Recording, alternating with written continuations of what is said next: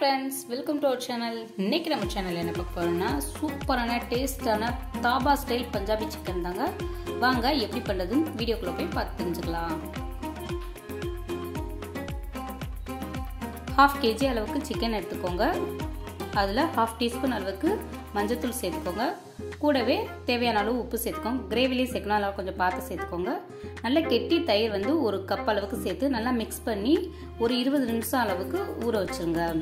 Next stove on பண்ணி pan வச்சு ஒரு ஸ்பூன் அளவுக்கு எண்ணெய் கூடவே பட்டர் ஆறு கீ வந்து ஒரு ஸ்பூன் சேர்த்துக்கோங்க. நல்லா சூடானதுக்கு அடுத்து ஒரு ஸ்பூன் அளவுக்கு சோம்பு சின்ன துண்டு பட்டை கிராம்பு ஒன்று ஏலக்காய் ஒன்று கூடவே ஒரு அரை பிரிஞ்சு இலை அளவுக்கு சேர்த்துக்கோங்க. அது நல்லா பொரிஞ்சதுக்கு அடுத்து கட் பண்ணி வச்சுருந்த ஆனியன் ஸ்லைஸு சேர்த்துக்கோங்க. உங்களுக்கு எவ்வளோ கிரேவி வேணுமோ அவ்வளோ ஆனியன் சேர்த்துக்கோங்க. கூடவே ரெண்டு இன்ச் அளவுக்கு இஞ்சி கட் பண்ணி போட்டிருக்கேன். கூடவே ஒரு ஏழு பல் பூண்டு வந்து சேர்த்துக்கோங்க. அது நல்லா வதங்கினதுக்கு அடுத்து ஸ்டவ் ஆஃப் பண்ணி அதை நல்லா ஆற விட்டுருங்க. இப்போ நமக்கு நல்லா ஆறி வந்துருச்சு. அதை ஒரு மிக்சி ஜாரில் ட்ரான்ஸ்ஃபர் பண்ணி நல்லா பேஸ்ட்டாக அரைச்சி எடுத்துக்கோங்க இப்போ பேஸ்ட் ரெடி ஆயிடுச்சுங்க. நெக்ஸ்ட்டு ஸ்டவ் ஆன் பண்ணி அதே சேம் கடாயை வச்சுக்கோங்க. அதில் வந்து மஸ்டர்ட் ஆயில் அதாவது கடுகு எண்ணெய் இது வந்து இந்த டிஷ்ஷுக்கு வந்து நல்ல டேஸ்ட்டு கொடுக்கும். இது இல்லைனா நீங்கள் பட்டர் ஆர் ஆயில் எதுனாலும் சேர்த்துக்கலாம். அதெல்லாம் அரைச்சி வச்சிருந்த பேஸ்ட்டை சேர்த்து நல்லா வதக்கி விட்டுக்கோங்க நெக்ஸ்ட்டு ஒரு பெரிய சைஸு தக்காளி நல்லா சவப்பு தக்காளியாக சேர்த்துக்கோங்க. கூடவே கொஞ்சம் ஃபுட் கலர் சேர்க்கணும் சேர்த்துக்கோங்க. நான் சேர்த்துருக்கேன்.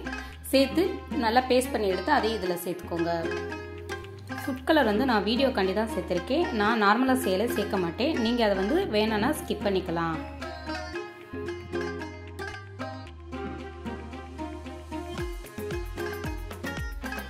நெக்ஸ்ட்டு ஒரு ஸ்பூன் அளவுக்கு மிளகாத்தூள் ஒரு ஸ்பூன் அளவுக்கு மல்லித்தூள் அரை டீஸ்பூன் அளவுக்கு ஜீரகத்தூள் சேர்த்து நல்லா வதக்கி விட்டுக்கோங்க. கூடவே டிஷ்ஷுக்கு தேவையான அளவு உப்பு சேர்த்துக்கோங்க. ஏன்னா நம்ம ஆல்ரெடி சிக்கனில் வேறு சேர்த்துருக்கோம். அதனால் கொஞ்சம் பார்த்து சேர்த்துக்கோங்க. இப்போ நல்லா மிக்ஸ் பண்ணி விட்டாச்சு. இந்த சைடு ஃபுல்லாக வந்து அந்த கீ அந்த எண்ணெய் வந்து நல்லா பிரிஞ்சு வரணுங்க. இதுக்கு அடுத்து வந்து எடுத்து வச்சுருந்த சிக்கனை வந்து சேர்த்து நல்லா மூடி போட்டு குக் பண்ண ஆரம்பிச்சிருங்க. இப்போ பார்த்தீங்கன்னா நமக்கு தண்ணி சேர்க்கவே இல்லை. சிக்கன்லேருந்து தண்ணி நல்லா ரிலீஸ் ஆகி வந்திருக்கு. இந்த ஸ்டேஜில் வந்து கொஞ்சமாக வந்து தண்ணி சேர்த்துக்கோங்க. அதுக்கு முன்னாடி ஒரு ஸ்பூன் அளவுக்கு கரம் மசாலா வந்து சேர்த்து நல்லா மிக்ஸ் பண்ணி விட்டுக்கோங்க.